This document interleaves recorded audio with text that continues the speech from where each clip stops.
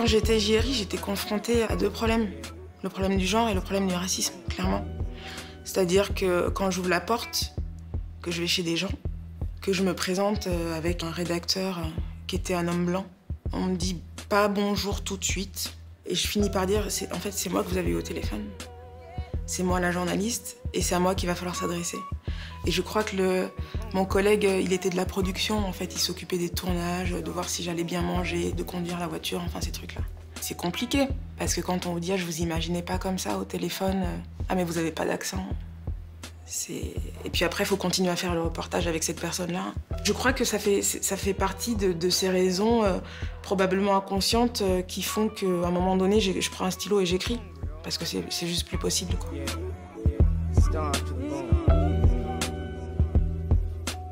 Moi, je, suis née à Paris en 82 avec un frère jumeau. Et j'ai grandi euh, dans une ville qui s'appelle euh, Les Lilas. Petite, j'étais atterrée par les histoires et par la radio. Et euh, j'ai eu envie, du coup, de faire des études de journalisme pour bosser dans la radio. Je voulais faire euh, Pascal Clark comme métier. Et puis, il se trouve que à ce moment-là, euh, bah, je suis étudiante, j'ai pas trop d'argent. J'ai une copine qui me dit Ah, il y a des stages dans une boîte de prod. Et j'atterris dans une boîte de prod où je commence à, mettre les pieds dans, la télé. Et c'est comme ça que, euh, de fil en aiguille, j'ai pu fréquenter à la fois les plateaux de télé, faire des interviews, faire des reportages, etc. Et puis, à un moment donné, je m'ennuyais. Je m'ennuyais parce que ce que je faisais ne me correspondait pas trop. Alors un jour, j'ai dit, OK, j'achète une caméra. Je suis partie pour faire des docs euh, que j'ai auto-financés, auto-produits. Et je me disais, si ces docs-là sont sélectionnés dans un festival, je continue. Et après, bon, bah, il y a, y, a, plein de dispositifs qui, qui, permettent de muscler son regard. Et ce qui se passe, c'est que quand je fais des documentaires, je suis animée par une pulsion. J'ai envie de dire des choses et j'ai envie d'enquêter sur des phénomènes qui me touchent. Mais ce que je comprends pas à ce moment-là, c'est que je suis pas productrice et qu'un film, même un documentaire qu'on fait, fait soi-même, il faut pouvoir le faire vivre, envoyer à des festivals. À l'époque, il n'y a pas les liens. Il faut faire des, des, CD, il faut les acheter, il faut les dupliquer, il faut les envoyer. Et en fait, je me fatigue. J'arrive à la fiction vraiment par accident. Au moment où je commence à, à penser à l'histoire du bleu, blanc, rouge, j'ai une amie qui me dit Mais toi, tu es en train d'écrire de la fiction, on va voir un producteur. À ce moment-là, je rencontre euh, Laetitia Kugler, qui est, qui est scénariste, et je lui dis comment on fait? Comment on fait pour rencontrer un producteur? Moi, je suis pas fille d'eux, euh, euh j'ai pas de carnet d'adresse. Euh. et elle me dit, bah appelle, euh, appelle ce monsieur là, qui s'appelle, c'est Nelson, c'est mon producteur, à Yukun Kun. Et il se trouve qu'il me lit, il lit l'histoire que j'ai envie de raconter. Et c'est là qu'on a commencé à se parler, que je comprends que il est possible de se faire accompagner d'un point de vue financier, mais aussi d'un point de vue, on aurait dit, dans le journalisme éditorial. Et c'est une belle rencontre. Et c'est une rencontre qui me fait grandir à ce moment-là. Donc je me mets à écrire euh, le scénario du bleu, blanc, rouge. Et je me souviens que j'avais fait une insomnie ce, soir-là. Je me suis levée, j'ai tapé euh, sur un moteur de recherche euh, cinéma, réseau, enfin, je cherchais comment. Et je, tombe sur le site de, de Talent en cours. Et il y avait une session le lendemain matin. Alignement des planètes total.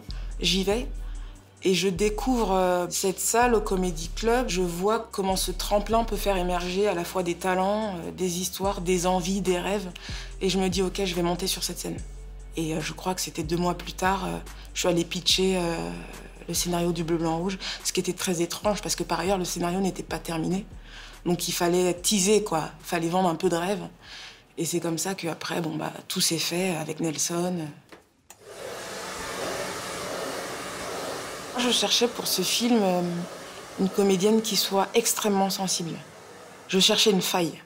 Et on voit plein de, jeunes filles qui, sont, euh, qui jouent bien, mais je ne trouve pas l'essence du personnage. Euh, et, Nelson me dit va sur le site du conservatoire. J'y vais, et là je, tombe sur une, une comédienne qui s'appelle Grace Seri. J'ai pas de coup de cœur sur une photo, ça marche pas avec moi. Et je la fais venir, et au moment où elle vient euh, au casting, il y a 100 mètres qui nous séparent, je la vois, la manière dont elle marche, son port de tête, je dis c'est elle.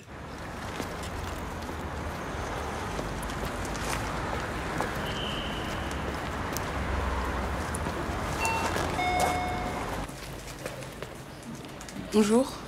Bonjour. Je viens pour faire des photos. Oui. C'est possible de les faire maintenant? Oui, bien sûr, mais pour quel type de document? Une carte d'identité. Bah, j'ai juste peur que ça, ne soit pas possible avec vos cheveux. Ok, merci. Il y a effectivement des thèmes que j'explore qui me sont chers, mais dont je peux parler aujourd'hui avec le recul. Sur le moment, je suis incapable de dire précisément, je sais de quoi je parle, mais je suis incapable de dire à quel endroit de ma personnalité ça me touche et ça, ça va loin en fait. Et cet endroit-là, c'est mon rapport à la France, clairement. C'est mon identité de femme, de femme française, de femme noire, de femme issue de quartiers populaires. Et, je pourrais rajouter la question du genre et de l'obédience. Et voilà. Le bleu, il voyage beaucoup. C'est inattendu pour moi, je sais même pas ce que ça veut dire. Et je me souviens que la première sélection, c'est à Rennes. Je paye mon billet de train, j'y vais parce que je suis convaincue qu'il n'y aura pas d'autres festivals.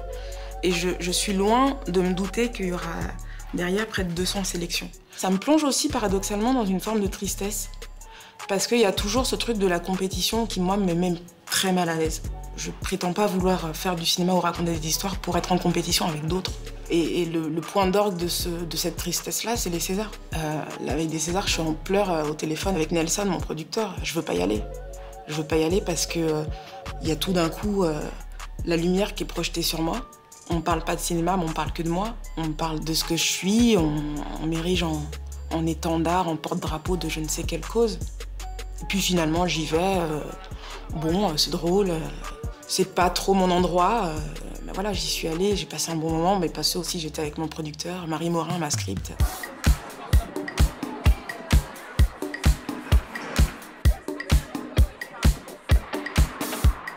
Ce qui est important pour moi quand je vais à la rencontre des, jeunes publics, notamment en festival, d'abord c'est de créer un espace dans lequel il n'y aurait pas de position hiérarchique on est, on est à égalité.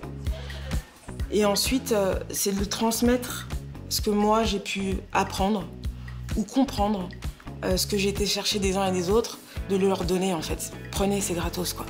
Et faites, ça coûte pas cher, ça coûte un peu de temps, ça coûte un peu d'énergie, mais allez-y parce qu'il n'y a personne qui vous attend en fait. Le tournage, il vous a pris combien de temps? Le tournage, il nous a pris 7 jours. On a tourné à Rennes, en amont, donc avant le tournage, il y a à peu près un an et demi d'écriture.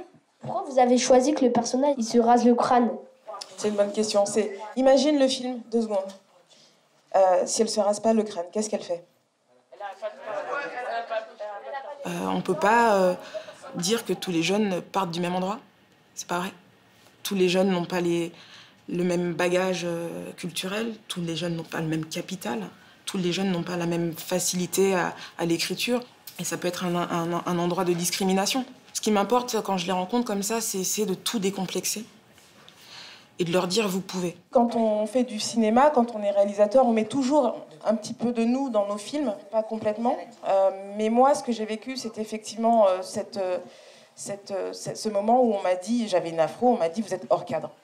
Et en fait, c'est toi qui parlais de racisme tout à l'heure. Voilà, j'ai eu le sentiment que l'institution française, à travers, à travers cette, cette personne, c'était pas la dame en question, mais quand on me disait vous êtes hors cadre, j'ai vécu ça comme une forme de racisme en fait.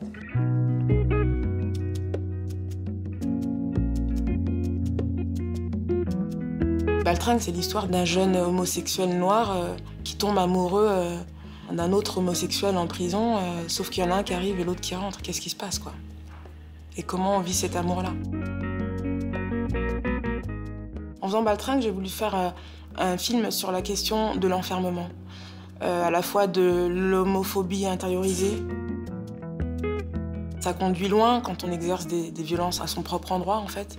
Et la question fondamentale à travers cette histoire d'amour, c'est de, comprendre comment on peut euh, briser ces barrières-là pour enfin euh, s'épouser, quoi, et être en paix avec soi, Donc c'était vraiment ça l'idée de départ du film. Et après, bah, on verse dans la fiction.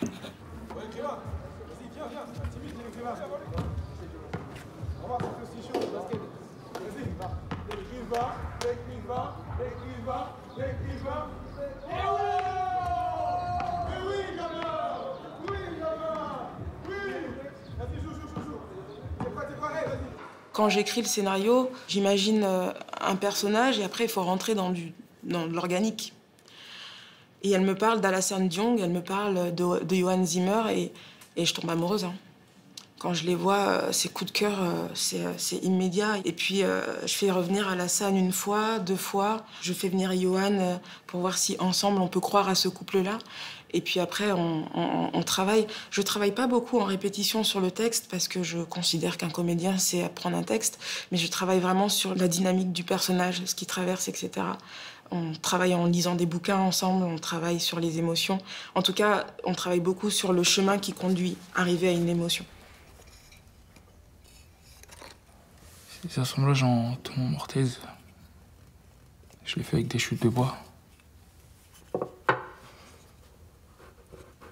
Je les récupère pour pas oublier. Quand on parle de cinéma de femmes ou de films de femmes, moi, ce qui me pose question, c'est plutôt de parler de cinéma d'hommes, de renverser la question. Aujourd'hui, le cinéma euh, euh, fait par les hommes, il domine l'industrie, domine les imaginaires, et c'est ça, moi, qui me pose vraiment question de comment on, transgresse ça quand on est une femme parce que je ne connais pas une femme qui soit réalisatrice qui n'ait pas eu à se justifier d'être femme, que ce soit à l'étape euh, de l'écriture, du financement, du développement, de la distribution. Euh, de son film. Et on sait très bien que quand une femme euh, réalise un premier long métrage, la probabilité qu'elle a d'en faire un second, elle est, elle est considérablement diminuée. Donc ça, c'est une vraie question que je me pose et qui m'habite, et du coup de renvoyer aux hommes la question de leur privilège de l'insouciance. Voilà. Ça, c'est vraiment un questionnement qui me... Et après, euh, quand on parle du cinéma de, femmes, il y a une autre question qui me paraît absolument fondamentale, c'est de quelle femme on parle en fait? Moi, quand j'étais petite, que ce soit sur, les petits, sur le petit écran ou sur les grands écrans, je n'étais pas représentée. Je dis pas qu'il n'y avait pas d'actrices noires en France, c'est que juste quand elles étaient sur nos écrans, c'était soit des personnages faibles, soit des personnages qui mouraient dans les 10 minutes, soit des personnages auxquels on amputait des handicaps sociaux euh, que moi, que je vivais pas, personnellement.